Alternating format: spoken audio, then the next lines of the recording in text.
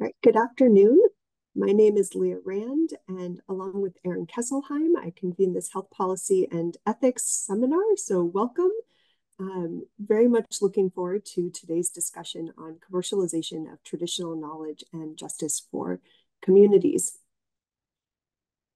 During the seminar, as you have questions, please use the Q&A box at the bottom of your Zoom screen to type in the questions. We'll be having a moderated Q&A session towards the end of the panel. And you, we invite you to follow the Center for Bioethics and other upcoming events.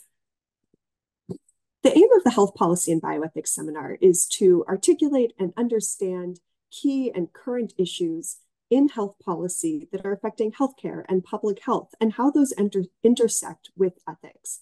And we hope that the conversation today, where we're bringing together experts who come with different perspectives and disciplinary backgrounds, will stimulate your own thinking and you will leave this session engaging in these ideas and thinking about how you might pursue further work or connections in this area.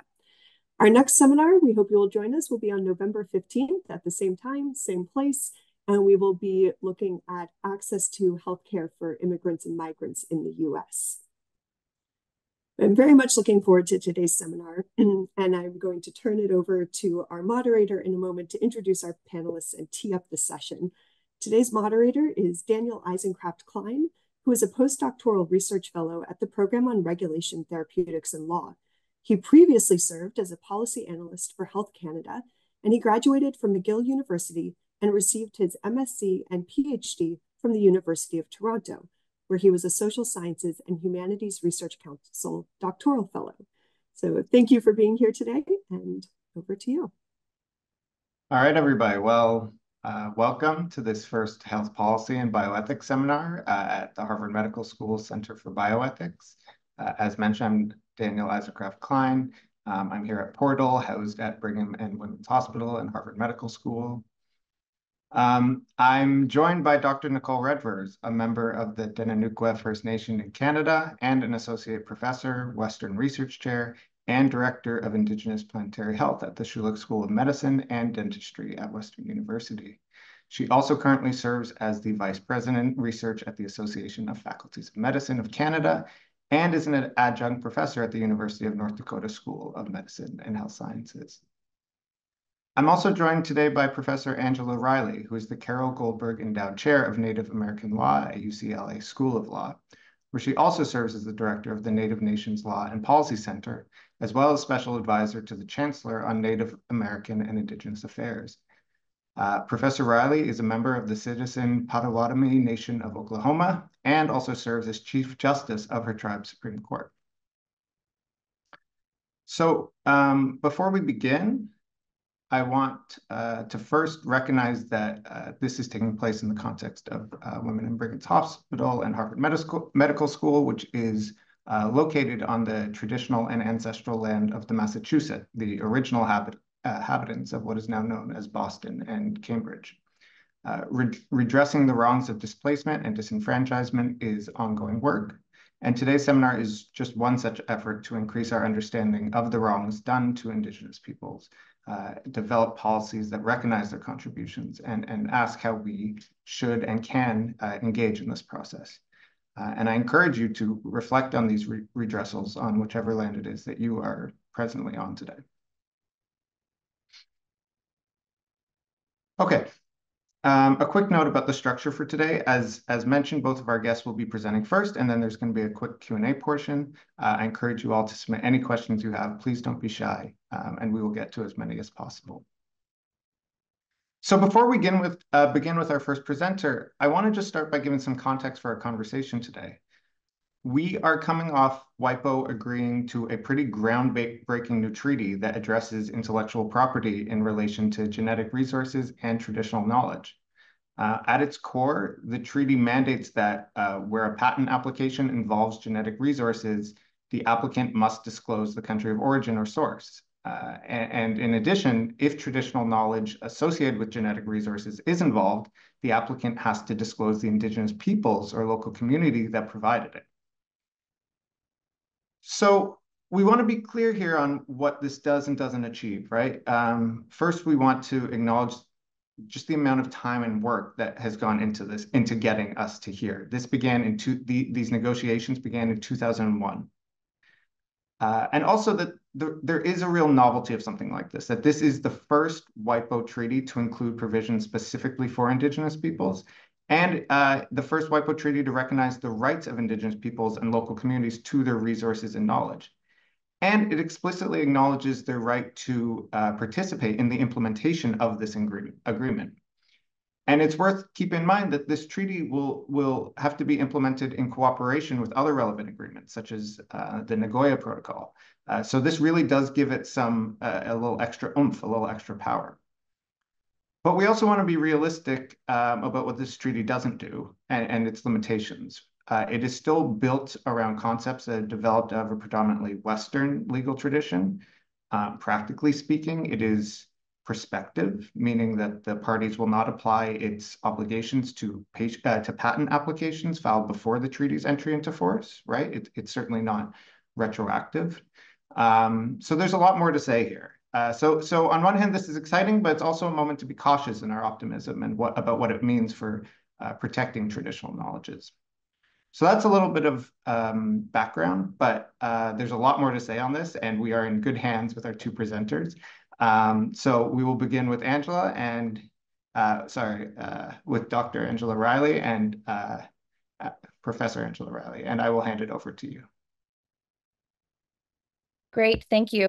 Um, Bozho jayék, hello everyone. I'm Angela Riley. It's a it's a pleasure to be speaking with you today, even though I can't see your faces. I, I see that you're out there. Um, I'm going to start by sharing my screen because I have some slides to um, present, and I want to just um, maybe give you a little context as well. Make sure my view here is, sorry, um, give you a little context also for, for what I'm going to say today. Uh, I am kind of going to pull back a little bit and give sort of a broad overview of a lot of things about sort of indigeneity in general and with a focus on the United States, but um, most of this applies elsewhere in the world. I've done a lot of work actually internationally and, and also was one of the people who worked on the WIPO project through the Indigenous Caucus, um, most of it with the Native American Rights Fund. So, um, so I'm kind of giving a big picture view. And what I really want to do is try to kind of ground this conversation in Indigenous concepts and in indigeneity um, as I've experienced it individually as a person and in the world. Uh, so um, I'm starting here by showing you um, a photograph. This is the farm where I was raised in rural Oklahoma. Uh, this is actually located within Indian country. This is within the borders of what was the Kiowa Comanche Apache Reservation uh, before it was opened up to allotment and settlement. So uh, in this in this presentation, I have you know, three major takeaways that I want to leave you with. Uh, the first one is I want to highlight and explain that Indigenous peoples, and first of all, let me just say a couple of things about nomenclature. Um, in the United States, we still use the word Indian. It's perfectly fine to say the word Indian. Indian is used as a term of art on in many of our like legal concepts. Indian country, for example, is a statutory term. It is a term of art. We refer to Indian country as Indian country. So I use the word Indian. I know in some other places, um, Indian is disfavored and in some places it's just outright offensive. So I just wanted to just note that. I typically use Native and Indigenous. Most young people today identify themselves primar primarily by their nation or their tribe, um, and then sort of indigeneity or Native. But I just say that so if you're hearing me say the word Indian and wondering why I'm saying it, that's that's um, it is a term that we do use, especially in law. Um, so in any case, uh, I wanted to just start with a, a few takeaways. First of all, that indigenous cultures are land-based, and that means that the culture, the life ways, the way of being, and what we would consider to put in the bucket of religion, if religion was actually the word that we would use for native spirituality, um, all of those things are land-based and place-based. And this is one of the things that really distinguishes Indigenous peoples from all other peoples in the world, um, including other sometimes disadvantaged, discriminated against, or minority cultures or peoples. Indigenous peoples have a unique relationship to the earth and a unique relationship to the nation states which have formed around them through the process of colonization.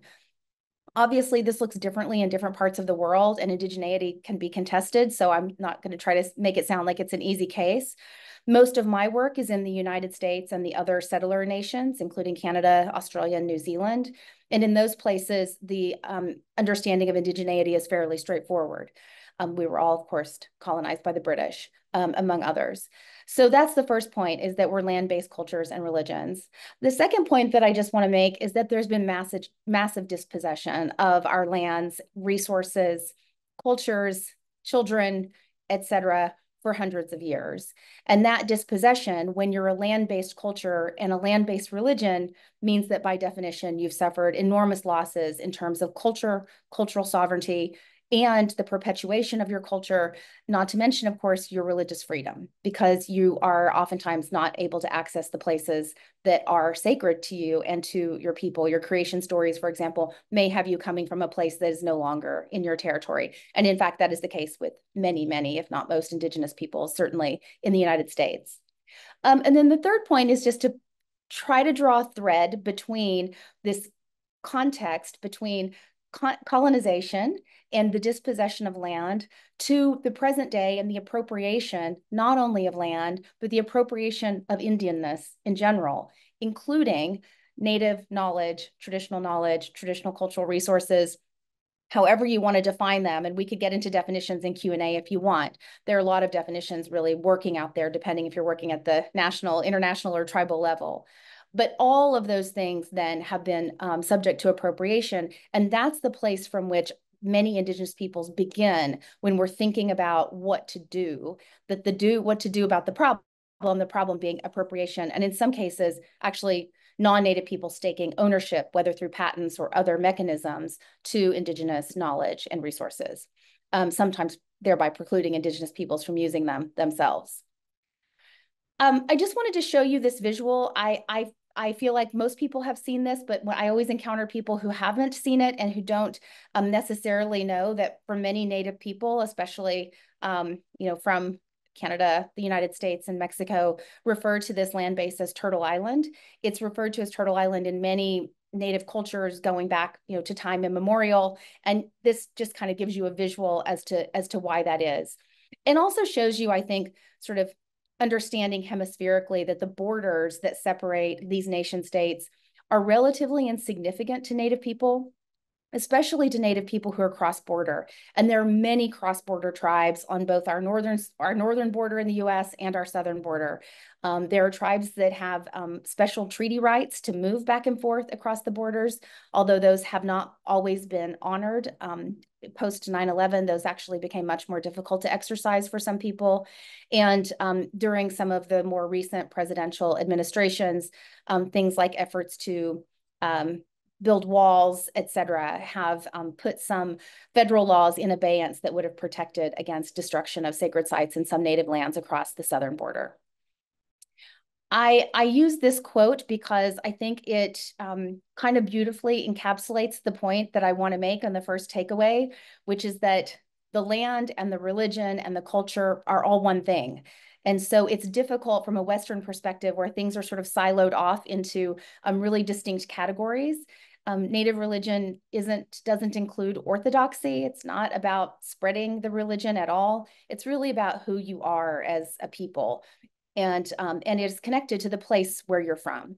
So the destruction of the natural world or the dispossession of the natural world necessarily leads to this kind of destruction. Um, this map is actually taken from the First America's First Americans Museum, which is a new museum that opened not too long ago, um, heavily funded by the Chickasaw Nation in Oklahoma City. And the map shows just one example of the mass removal that happened in the United States. Obviously, the eastern seaboard is sort of a whole separate question, although of course people were still removed from the um, from the eastern part of the United States, most famously from the southeast. That, of course, is the Trail of Tears um, involving the five tribes, um, most notably the Cherokee, to what is now the state of Oklahoma. Uh, you can see up there in the Great Lakes region is the Potawatomi. That is my tribe. And we were removed um, our tribe broke off into different tribes over time, and my tribe was removed the furthest until we took our reservation via a treaty in the late 1800s in the Indian Territory, which then became the state of Oklahoma. So this is just, you know, one tiny little snapshot to sort of understand that when we talk about land dispossession, obviously the entire continent was Indian country and was Indian land. And um, the vast majority of that land is now in the hands of non-native people and in the hands, um, not in the hands of tribes. So this is just one kind of visual depiction. I wanted to say a little bit then about the role of law in protecting Indigenous peoples' religious freedom. So again, if you sort of keep that continuous thread and understand that the religion and the culture and the life way and the land are all one thing, and I would include language in that as well, then you understand that the dispossession of the land necessarily means it disrupts all of the other concepts and all of the other things of value. And this is obviously a very long and complicated story that I'm condensing down into just a few bullet points. But the point being here, the reason I'm coming at it from this direction is because I think it's critical to understand the land piece of it. And it's also critical to understand the religious freedom piece of it. So if you are a land-based religion, which indigenous peoples are, and I'm talking pre-contact, people who have not converted to um, another religion, which typically is Christianity in the United States, then your religion is bound up with your place as well. So your creation stories that tell you who you are as a people, that tell you where you came from, that tell you where your holy lands are, those places are here for Indigenous people. In the United States, those places are within these borders. And so imagine, um, most of you probably have whether you follow it or not, probably have some religious tradition that you at least know about or understand, if not have been taught and followed. And you have holy places in your um, tradition too. And so if you think about where those holy places are, it's exactly the same for Indigenous people. But our holy places are no longer in our control um, or within our territory for the most part. Um, in many cases, they're on federal public land. This is actually a photo of um, that I took when I was hiking in Sequoia, the national forest. Um, and this is, you know, a place that obviously was heavily occupied by Native people for obvious reasons, rich in beauty, power, sacredness, natural and cultural resources, and now is um, federal public land. And this kind of example plays out over and over again. The um, I'm not going to get into the weeds on the law, even though I'm a lawyer. I don't want to bore you with doctrine, but I do want to just point out a really significant um, set of events that have happened that many people are not aware of, which is that despite the First Amendment and um, purportedly incredibly strong and deep protections for religious freedom in the United States, the United States Supreme Court has repeatedly um, declined to protect the religious freedom of Native people. The most prominent case in this um, sort of landscape is, a, is a case called Lyng versus Northwest Indian Cemeteries. It's a 1988 case. Um, and it was a case that essentially said that the US government could build a basically useless road through a sacred site that would completely destroy, in the court's words, completely destroy the tribe's religion. And it did not violate the First Amendment because it was not coercing belief. It wasn't coercing the tribe to believe something that it didn't already believe. Um, the circuit courts have followed along this path. We've had a couple of very bad cases um, out of the Ninth Circuit in the last few years. And so we're all watching these. But I just point this out to, again, tie all of this together that what's at stake here is not just about stuff. It's not just about land and water. It's about religious freedom as well. Um, the, the land dispossession, we move from that to the concept of cultural appropriation. And this is um, you probably recognize Gwen Stefani on a horse. And I just I, I just uh, want to direct you here to uh, here here to you a book by Phil Deloria, who's a Harvard professor. Many of you may know may know Phil Deloria, um, who's written a book called Playing Indian. And again, this is really just to highlight that the next step in this journey, that the next takeaway is about cultural appropriation. So once the land has been taken, then the culture is taken.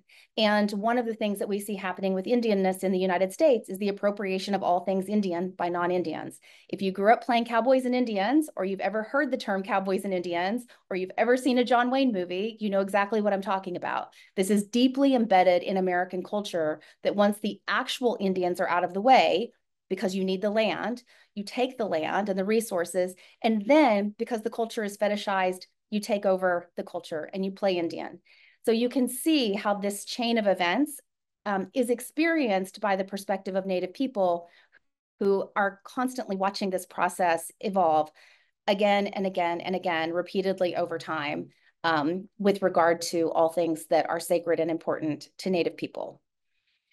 So with regard to traditional knowledge, we might talk about medicinal knowledge, um, plant medicine. Um, in some cases, the, the references are to um, psychedelics or other kinds of organic substances that are used at, in ceremony and as sacraments.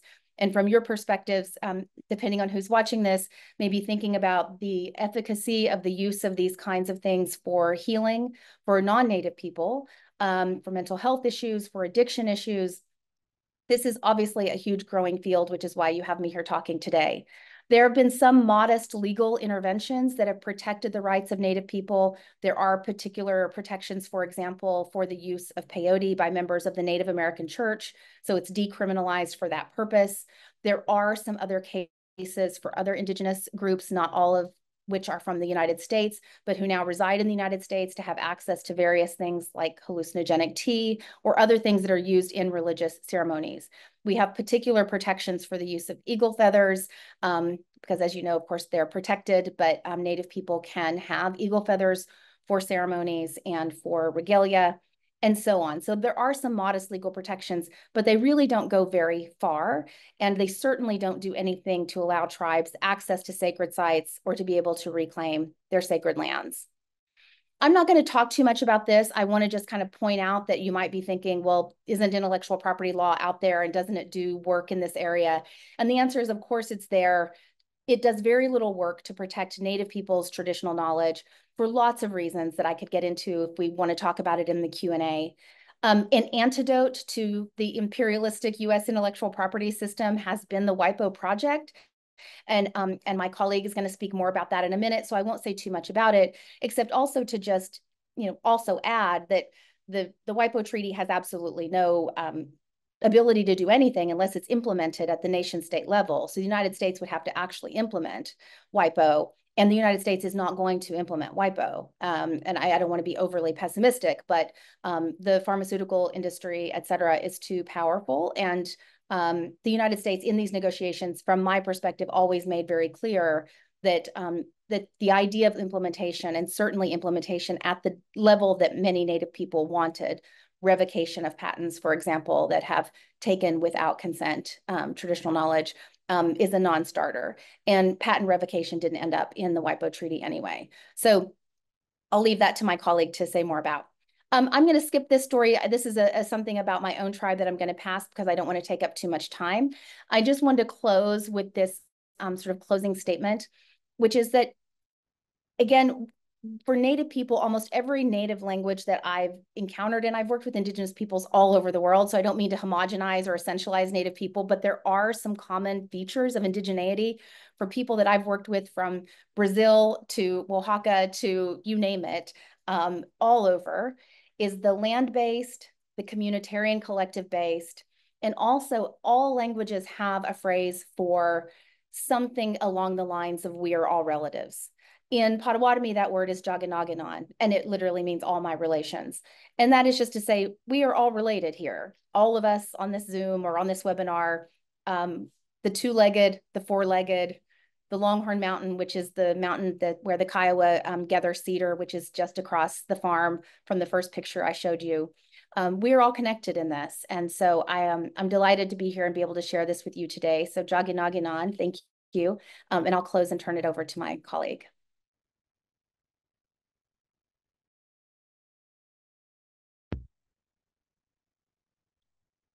See. Thank you, uh, Angela. Appreciate that. And uh, hello, everyone. I'm just going to go ahead and share screens. So just bear with me for one moment while I get that situated here. And uh, uh really happy to have the conversation today. It's really important uh, for me at least uh, the way I've been taught to situate myself in terms of my community. And, and part of this positionality, this relationality comes back to exactly what Angela was talking about. We, we say Salotina, which was all my relations, Salotina.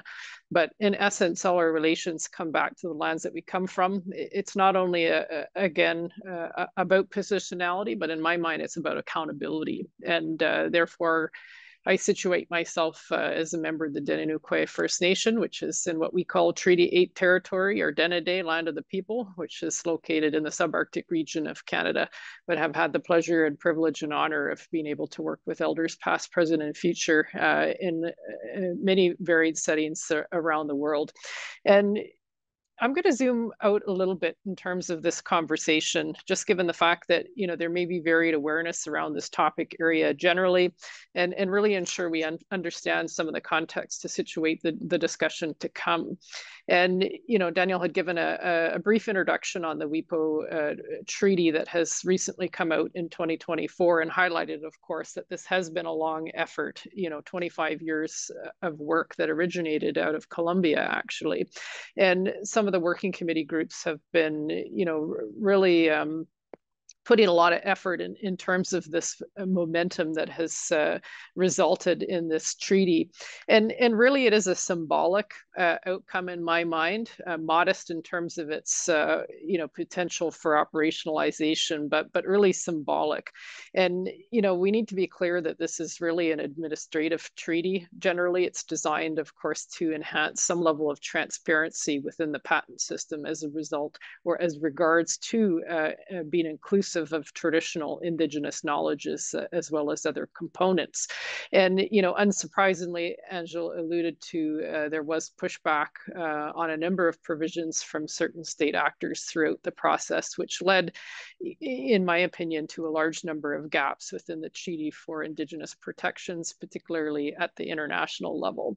So you know, very little teeth in regards to um, what that actually means on the ground for protection for a, a specific indigenous community, you know, located in uh, Africa or Asia or, or any other country for that matter. And one of the things that I think is is really important in the context of this is that indigenous knowledge is you know if if a company is needing to report the community of where that knowledge is coming from as a result of a commercial application for patent or otherwise there is no need or demonstration for that entity to be able to demonstrate that they've received free prior and informed consent from that respective community.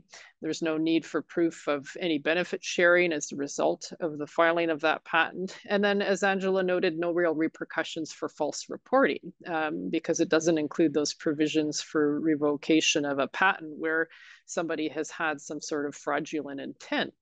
Now, the other thing is that you know, potentially this exposes a company uh, or entity to public shaming as a potential deterrent. But we've known historically that this really is not a deterrent when it comes to large amounts of money, um, you know, being in enhanced. Whether or not this plays out is is really hard to say at this point, just given you know we're so preliminary in terms of the onset of this treaty the other thing that I think is really important to note is that uh, some countries and regions around the world have already had disclosure requirements within their domestic patent systems, which are aligned in some cases with the commitments um, under things like the Convention on Biological Diversity, which I'll touch on uh, slightly uh, shortly.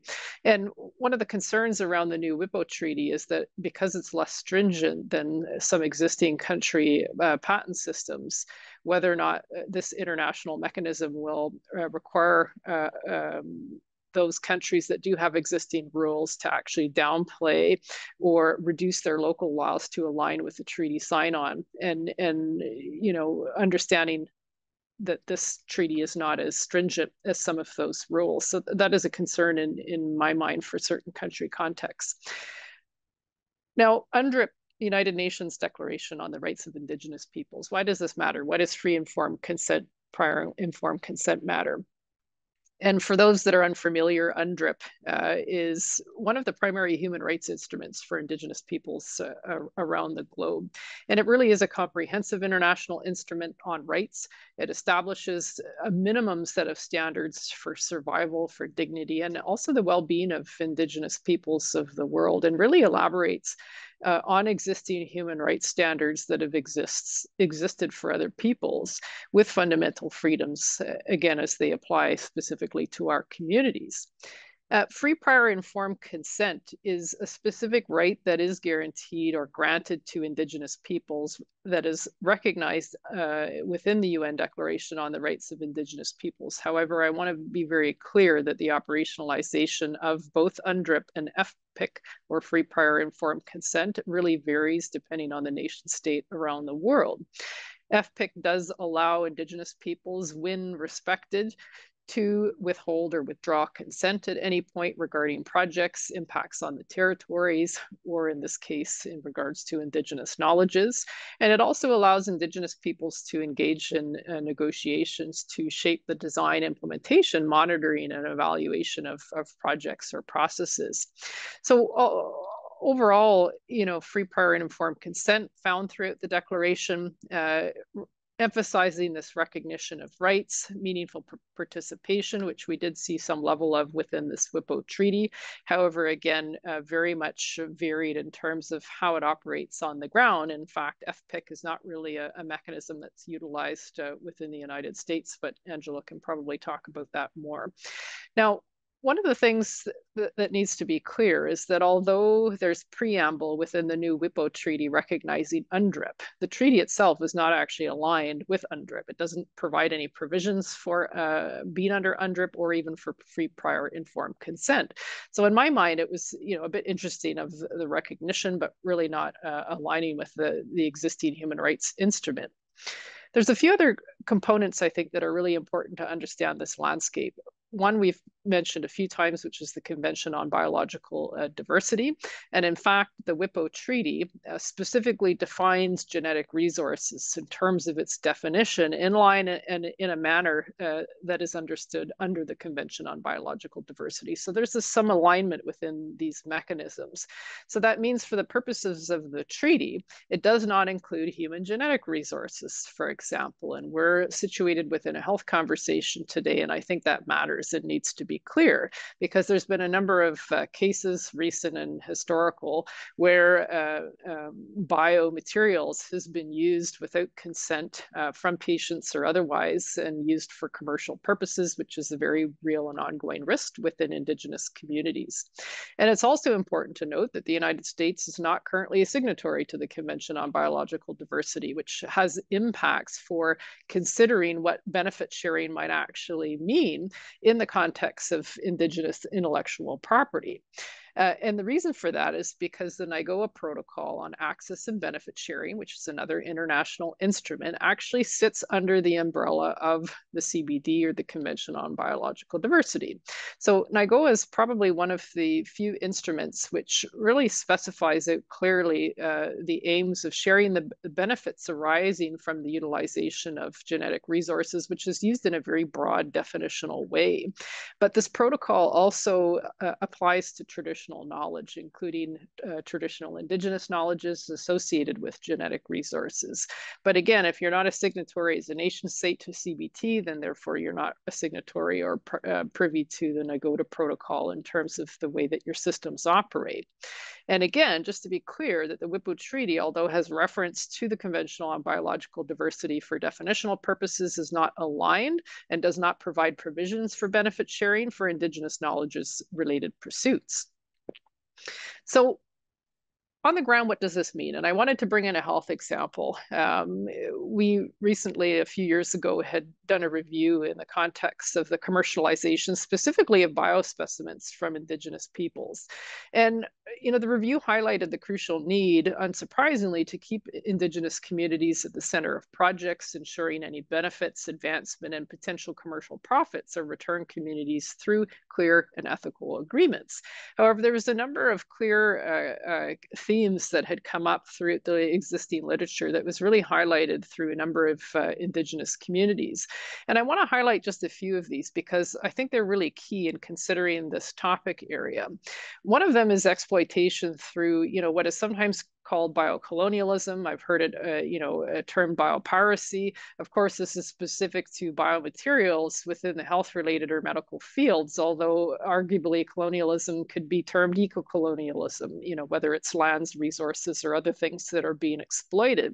And, you know, this is really the act of gaining access to biological material, whether or not it's an academic or commercial benefit, you know, that may be derived from accessing that from a respective community, you know, from a um, from a location organization, without the intention of fair compensation to the peoples or nations from whose territory the material originated. And we've noted a number of examples where Indigenous peoples have been subjected to blatant exploitation, ranging from the unsolicited use of traditional knowledges for commercial purposes, also the extraction of traditional Indigenous uh, medicinal plant knowledge from modern day pharmaceutical development development. In fact, a very large percent of our current uh, pharmaceuticals are derived from uh, plant-based materials that were used uh, by Indigenous communities uh, for time immemorial. In fact, it led to the almost extinction of some medicinal plants, including some uh, used for breast cancer treatment from trees along the west coast of the United States. Now, there's also uh, uh, examples of extraction of very genetic materials for medicinal purposes. One recent example has been the collection of stool samples from indigenous communities worldwide for the purposes of research, but also for commercial benefit in the making of probiotics or other kinds of materials that you can often find at the drugstore. Um, and a lot of this history of, of clear exploitation has really given rise to hesitation and an environment of a lack of trustworthiness uh, in participating in any sort of medicinal health research projects, uh, but more so, of course, for any projects that relate to commercialization. In fact, we even found published reference uh, of Indigenous peoples being framed as gold mines for commercial benefit without really any clear intent of actual defined benefits for and by Indigenous peoples themselves So it's really important, I think, to be clear that what we actually frame by commercial benefit might mean something incredibly different for Indigenous peoples, uh, differ substantially, that is, uh, to what a commercial benefit might mean for a corporate entity. Um, the other thing that was was clear is that you know this idea of exploitation as a form of colonialism you know a lack of transparency on benefit sharing the commercializations in this case of bio specimen samples really was a concern. And in fact it was leading to um, very valid consequences within uh, you know even potential benefits that could arise from communities for participation the other thing I want to uh, highlight as well is that uh, this idea of sovereignty and Indigenous rights has been a, a, large discussion within research and health research generally, you know, allowing uh, projects and processes to be really driven uh, by communities, which could include in this case, uh, you know, opportunities for benefit sharing or, or community-driven commercialization within a respective community. And this Indigenous sovereign control of research and business processes ensures clearly, clearly clearly, you know, a level of defined partnership parameters rather than parameters being developed by a colonial or paternalistic, uh, you know, relationship where researchers or other corporate entities are controlling uh, profitable opportunities at the behest of the communities themselves. Now, in terms of the you know, private and commercial agendas uh, are often viewed to overtake and potentially cloud public or community uh, interest, further increasing, you know, some of the growing health disparities amongst Indigenous peoples where, you know, benefits could potentially arise. And again, many of these stem back from past exploitation or unfair commercialization of Indigenous communities' uh, knowledge uh, or materials from the past. So really ensuring proper protocol uh, you know, equity, justice, and, and, sharing of profits really was stated to begin with continuous communication, uh, free prior informed consent, direct partnerships, uh, and, and really ensuring co-led systems are in place to equitably return benefits to community while leaving clear options to opt out or reject uh, any sort of commercialization process uh, seemed to be a way to help alleviate some of the concerns. And then the last category, which is part and parcel with the WIPO treaty is the patent considerations and some of these ideas around uh, benefit sharing. And, you know, it was questioned quite often whether or not the act of uh, patenting uh, directly violated actually inherent sovereignty held by indigenous nations. The very act of patenting being a violation of, of sovereignty. Uh, one of the global uh, south issues that were arisen from indigenous communities in one region was regarding the use of patents that could be uh, um, could result in commercial products actually being sold back to low income countries or the communities at price tags that they might not actually be able to afford while generating greater profit for commercial entities. So this idea of selling indigenous people's knowledge, medicines, and resources back to them has really uh, caused stress in some communities, expanded warranted feelings of lack of trustworthiness and increased hesitation. So overall, you know, there was an encouraged note uh, for all research institutions, uh, but also corporate entities to really reflect on ethical uh, process as a part of these, uh, considering collective needs and that benefit is not defined in the same way across uh, communities, particularly when we start uh, crossing into uh, varied regions around the world. So, so why this background? Uh, you know, why the consideration of WIPO, but uh, why the consideration of UNDRIP, free prior informed consent, uh, Convention on Biological Diversity, and the, and the Nagoya protocol in regard to benefit sharing. And the recent WIPO treaty covers a very, very, very small portion of the consideration around the potential commercialization of traditional knowledge. In fact, we can see here, you know, patent considerations are just one very small part of, of a large context and landscape uh, that really is much more complex th than just thinking about intellectual property itself.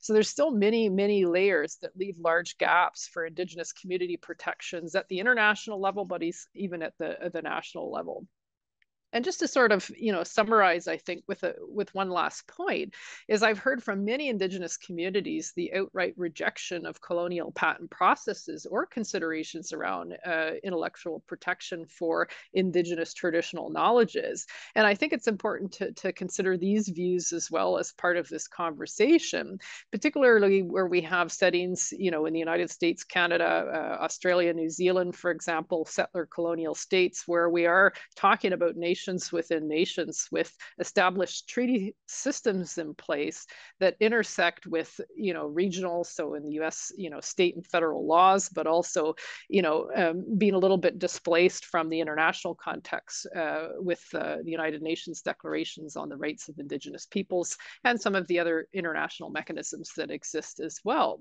So you know, a lot of room for additional complexities and and really appreciating and understanding that this is not a simple conversation, uh, that there are going to be differences in opinions across Indigenous nations, but ultimately at the national and global level, we continue ha to have significant problems around uh, Indigenous knowledge protection.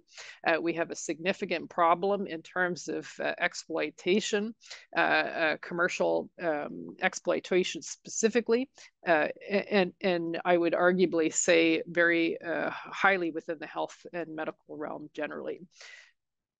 I'm sure we're going to have great conversations, but want to end it there and uh, um, looking forward to the discussion to come.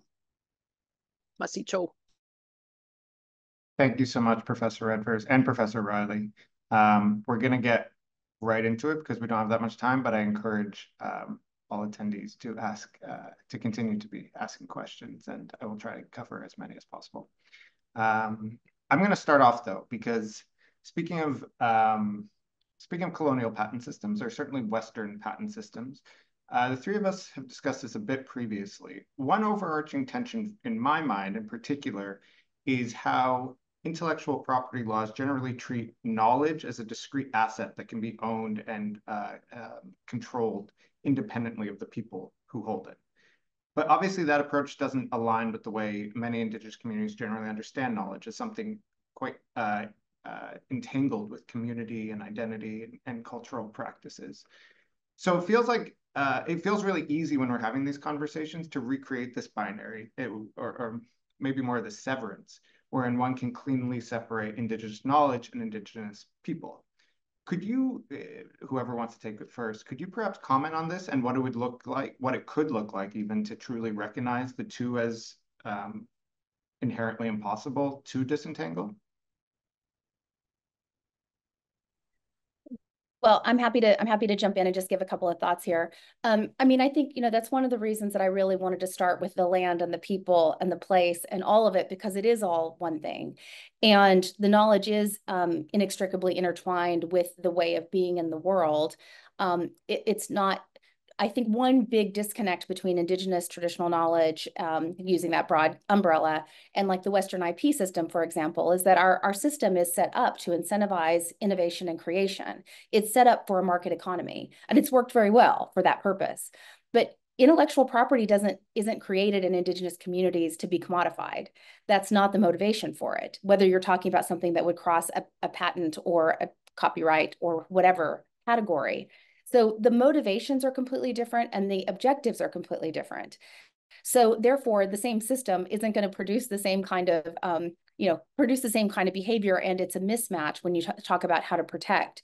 I think it's a complex question. I'm sure there's, I want to give other people a chance to talk. Um, but I, I would just say, you know, one other thing that we haven't, I haven't said in my presentation that I just want to focus on is that from my perspective, it all really comes down to self-determination, which is the right of the people to have a legitimate, informed, not just FPIC, but have say over what happens to them, their resources, which begins with protecting people in place, particularly as we see people being settled all over the world, the Amazon basin, I could give you 100 examples, that people have to be protected in place in order to protect the knowledge. And then it's really about self-determination, what they want and how they want to engage in and with the system. And it will not be be uniform across groups. It will be different. And we that's part of respecting the peoplehood and the nationhood as well. I'll defer to my colleague to respond. Yeah, I, I think you did you did a great job, Angela. I, I don't really have too much to add to that. I'll also just add, Professor Riley at one point mentioned that successful consultation in the US generally happen when it does happen, which is rare, it's despite the law rather than because of it unfortunately. So um, maybe making a distinction between the nation success around in nation states versus success at an international level is something we want to continue to keep in mind. Um, one of the questions that came into the group was is quite specific. I don't know if you want to comment it um, in the specific case or more generally, but I think it, it's a useful place to uh, put this these questions maybe into practice. So um, this person asked, uh, increasingly, healthcare institutions are in possession of huge quantities of health-related data and biospecimens opened in the context, uh, obtained in the context of the provision of clinical care. They often wish to use these materials uh, bracket in de-identified form for secondary research, which is sometimes with commercial companies. They may not necessarily know which materials belong to Indigenous peoples, but even if they do, they may not know who should be approached for consent. How do you think they ought to proceed? Should, at a minimum, Indigenous representatives be included in data governance slash biobank decision-making? And how do they, and really we, address the challenge of engaging the diverse communities that may be implicated? And I would, I'd note here, this maybe isn't only a question around Indigenous peoples, but we could, but let's keep it there and then there are implications more broadly. Yeah, I, I can broach this one. I think this brings in elements of Indigenous data sovereignty uh, generally, I think, which is a key concept that's been increasingly talked about, uh, and also recognize that the United States has one of the first Indigenous-led biobanks uh, in the world, uh, located in South Dakota, which has really garnered some interesting examples of how these kinds of processes are being looked at from an Indigenous standpoint, because it's incredibly complex. You know, arguably, if we looked at it at face value, that would be a violation of uh, self-determination and sovereignty from an Indigenous perspective. Uh, we've had cases even particularly within clinical trials that we've uh, run and been involved in where we have specific mechanisms where uh, blood samples are actually able to be picked up after their use by Indigenous community members if they choose to do so in, uh, in the respect of enhancing uh, trust building so that, you know, we're, we're not able to use those materials afterwards in any way, shape, and form, but also at the same time that there's a, a clear uh, intent when somebody is providing a blood sample or doing it, what happens with that after, uh, you know, the cases, what, what happens afterwards? Regardless of medical use or, or otherwise. So that's really a structural issue problem on many levels for the protections of people generally. And it has led to some serious uh, violations in some cases of commercial entities gaining access to cellular material, for example, from people without their consent and, and garnering huge profits. So large issues, but from an indigenous concept, context, that would be, you know, in my mind, a violation of self-determination, um, very, you know, at the plain, plainest level. Can I put, can I double check? Have you seen examples? Sorry to interrupt, Professor Riley. Um, just to, uh, have you seen examples where Indigenous representatives are directly brought into data governance decision making? Well, I would say that's rare, um, although it is increasing in, in certain areas. For example, we've uh, had uh, examples of the Seattle Indian Health Board that's been very progressive in terms of their, their data sovereignty and working with health and public health systems, particularly around making sure that Indigenous peoples are actually collected as a data demographic and not in other category, because that's our main mm. barrier right now is that, you know, we're often plunked into other, or, you know, the racial designation is not collected at the intake of a hospital hospital or you know in a medical file generally and, and there's been efforts to try to improve that uh, we've done much better with you know our, our, black colleagues around that within hospital settings but very very behind in terms of uh, collection of racial data for indigenous peoples at the medical system level in the united states and and everywhere frankly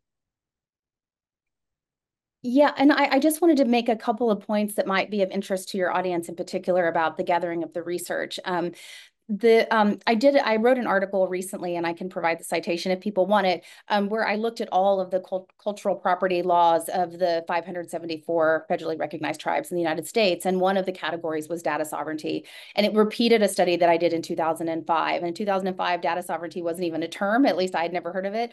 And by the time I did it in 2020, 48 tribes have their own tribal laws on the books to protect their data sovereignty. So you can look at those, and they're cited in the paper if you want to see what tribal laws look like and their own conception of protecting um, of data sovereignty. And the other thing I would just say is a lot of tribes now have their own internal review boards as well. So if you're collecting actual things related to Indigenous peoples as Indigenous peoples per se, let's let's say at the tribal level, um, you would go through a formal process and through the tribal government. So that's one, you know, kind of mechanism to um, to deal with it. Um, many people are probably aware of the of the Havasupai case, which happened, um, you know, quite a few years ago at this point. And I won't go into all the details, but it was a case where ultimately the outcome was not dictated by law. The law really failed to really dictate an outcome in that case. But the tribe ultimately prevailed in part because of the enormous um, importance of doing research with and around Indian tribes in the Southwest. And it involved both the University of Arizona and um, Arizona State to various degrees. So, so another issue here is the law doesn't always do the work, but um, but just the the PR piece of it, not to mention just, you know, the good relations in terms of moving forward with research to benefit all parties is such a critical piece of making sure that you have consent and transparency. I think there's something here to pick up on. So we're getting a number of questions. I'm going to try to combine them a little bit, but I think there's something to pick up on in terms of we've been using the term uh, IP a lot, and there's a couple questions that basically ask to what extent do the same IP issues impact other, quote, soft IP rights, non-patent, but rather trademark, copyright, trade secret uh, of Indigenous people in a commercial context? And they use the example of product sales on reservations within the tourist trade. Could you comment on that? I know, you know, we were careful with nomenclature here, so, um, but I think we've been using IP quite specifically. But uh, do you have thoughts on soft IP rights as well? I'm not sure I totally understood the question. I apologize. It was it how is IP working in Indian country? Oh, I can't hear you. Apologies. Yes, um, but specifically um, non-patent, uh, trademark, copyright, trade secrets. And, and, the example was product sales on reservations within the tourist trade. And um, yeah, go ahead. Yeah, yeah, there, there are a few legal interventions here that are really interesting. A lot of people aren't really aware of them. One of them is the existence of the Indian Arts and Crafts Act. So the Indian Arts and Crafts Act, which was originally passed in the 1930s, when um, Native people in the U.S. were, for the most part, very tightly re reservation bound and very, very poor. Um, and the United States recognized that there was an enormous amount of jewelry, pottery, rugs, incredible what they call arts and crafts, which today I would say much of it is fine art, really. If you could see how it's made, it's amazing. Um, was an enormous revenue generator. It's what a lot of tribes, particularly in the Southwest, were using to just really survive. But there was an influx of, um, of you know, false products from elsewhere. And so it was a part of that, the um, Indian Arts and Crafts Act was passed, which is or works essentially like a truth in advertising almost like a consumer protection law. So you can't, for example, say that you're making Potawatomi earrings unless they're actually Potawatomi, meaning the artisan has to be Potawatomi. And there's some nuances to it, and there are going to be some new regulations out. But that's one of the features that's really unique to Indian country is the Indian Arts and Crafts Act, which people aren't necessarily aware of. Um, but there's a lot of work. I've written a lot um, on this topic and a lot of other people on this um, threading the needle between, uh, on the one hand, understanding and critiquing the extent to which intellectual property law has failed Native people, if not completely um, not harmed them in many ways. So you have that on the one hand. And then on the other hand, you have many Native artists and even tribes who want to enter the marketplace of creativity, whether through patents or copyright and, and other creative works. And so people like me are trying to kind of unpack that and help um, guide in a way that the existing IP system benefits Native people should benefit Native people just like it benefits everyone else. And that shouldn't be exclusive of the fact that traditional knowledge and other things can still be protected. The two things can exist in the universe at the same time. And it's it's somewhat challenging, but it's actually not that doctrinally complex.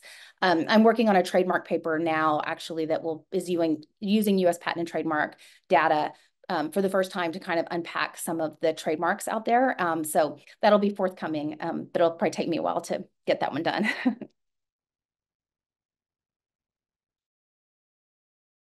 Um, Professor Redvers, if you don't want to comment, I actually have a question specifically for you. Um, but yeah, go ahead.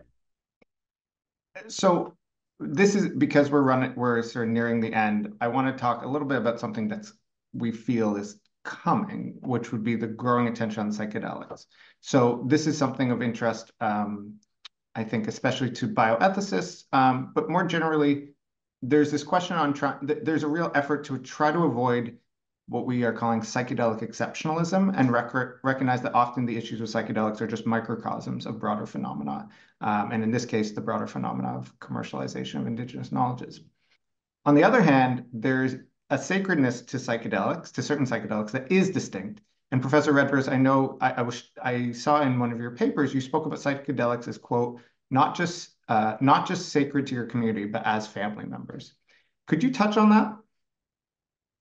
Yeah, absolutely. It's uh, it's a key topic right now in the last uh, year i don't know how many times you know i've been reached out for from both commercial entities but also through policy organizations as governments are grappling with even the legal ramifications of how to be able to think about these things in the context of respecting indigenous rights um, you know within some of the public health recommendations specifically.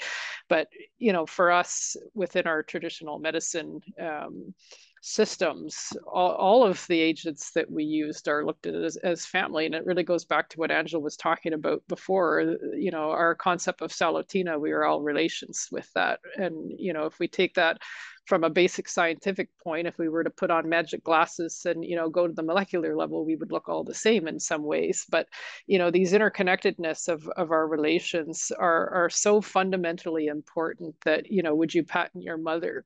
Would you patent your sister? Would you patent your brother? And and that's kind of how these things are looked to. It is such you know an aspect of respect um, and honoring of that of that sacred element that has been embodied and intertwined within our cultural practices for millennia with a very deep appreciation and and enormous amount of traditional protocol that surrounds that relationship with that family member that medicine and family member that when that starts to get disrupted it's like somebody hurting your mother. It's like somebody hurting your sister. It's like somebody hurting your brother. And so these things are felt very deep at a visceral raw level when these kinds of conversations and processes are happening where you know these dialogues are spinning out of control into patent and commercializations when really as indigenous people we haven't had the opportunity to really sit you know to be able to think about that. Uh, uh, context because the world is suffering right now. We have a lot of trauma. We have a lot of PTSD. We have a lot of, you know, disconnection from Earth, from ourselves, from people that are perpetuating some of these systems of, of disruptions, and in fact, threatening ourselves as the human species. So, you know, we understand that too as Indigenous people, and, and trying to be able to balance these things is, is entirely complex. But we really haven't given the space to Indigenous people to be able to sit and explore these things in the context of the modern world. Uh, you know, the, the conversation's being dictated outside of ourselves right now. I think that might be a terrific message to end on there. Um, I want to just say a particular thank you to Professor Redvers and Professor Riley for taking the time to do this. Um, and I'm going to send it over to Leah for a final word.